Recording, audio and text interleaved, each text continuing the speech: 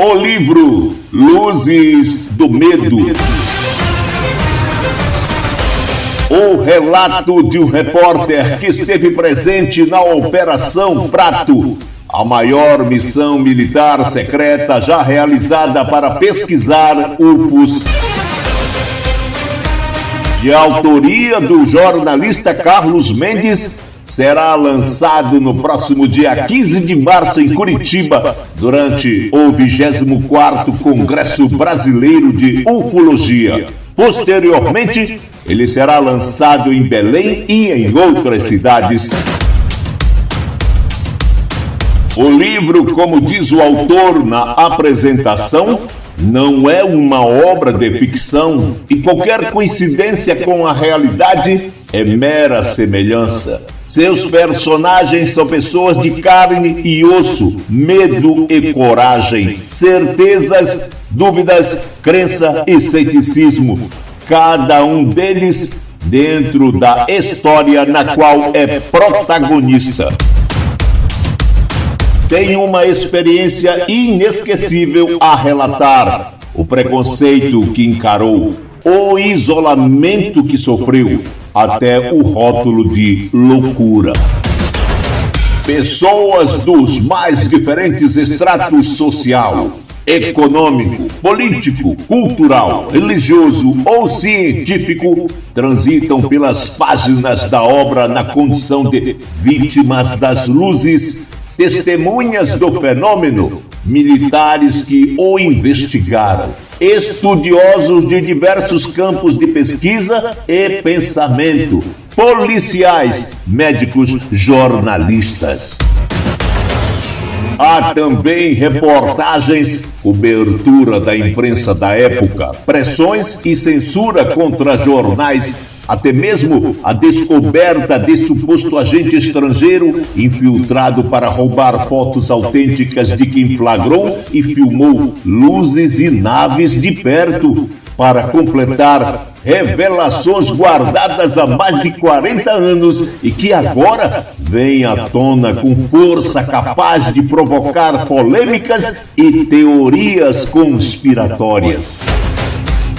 O repórter nada mais é do que um contador de histórias. Ele captura os fatos, ouve as fontes, suas versões e constrói o estilo da narrativa nas páginas desta obra. Entretanto, quem conta as histórias é quem as viveu, intensa ou superficialmente, de forma nua e crua, sem retoques, enfeites. Quem fala é gente simples de comunidades ribeirinhas zona rural, povoados da floresta, aglomerados urbanos, atores involuntários de um enredo único no mundo, ao mesmo tempo fantástico e aterrador.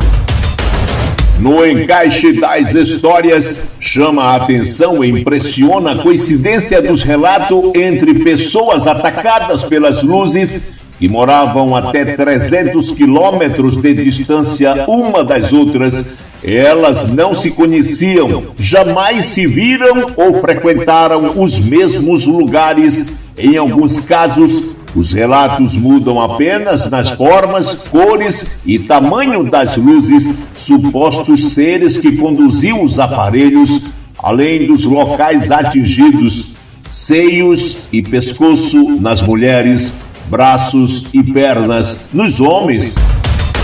A grande pergunta sobre o que queriam e por que agiam daquela forma os autores das incursões insólitas, se eram naves de outros mundos ou experiências científicas das grandes potências terráqueas disparando raios luminosos sobre as pessoas, sugando-lhes o sangue, deixando-as fracas e anêmicas. É também buscar respostas das Forças Armadas do Brasil sobre os verdadeiros segredos da Operação Prato.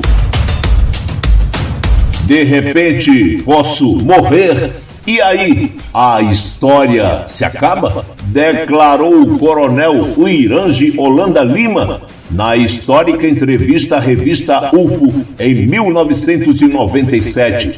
Ele afirmou que o trabalho dos militares, provavelmente além do Pará, no Maranhão, entre 1977 e 1978, resultou em cerca de duas mil páginas, mais de 500 fotografias e 16 horas de filmagens na antiga bitola Super 8.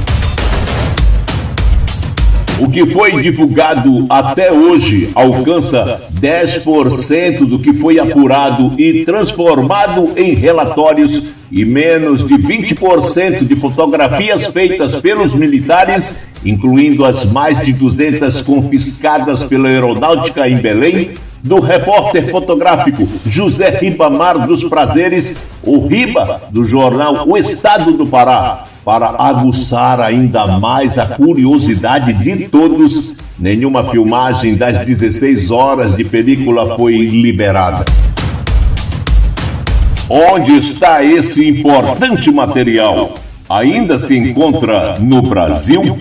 Nossas Forças Armadas, que estão entre as mais avançadas do mundo na liberação de documentos sobre avistamentos de UFOs desde só anos 50, precisa trazer a público que parece ainda guardado a sete chaves em seus arquivos secretos.